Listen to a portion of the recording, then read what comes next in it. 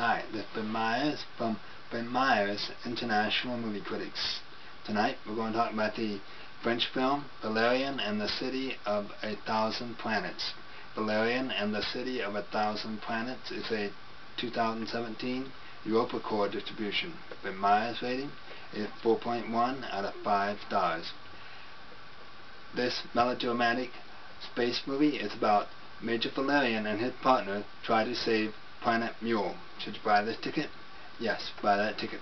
This is a good film for special effects and makeup. Has Ben Meyers. Have a great entertainment weekend.